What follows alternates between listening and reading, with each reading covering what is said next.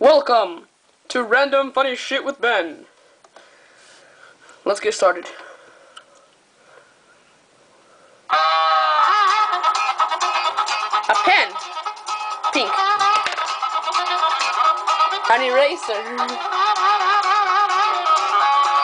A stick of chewing gum. A die. And a penguin!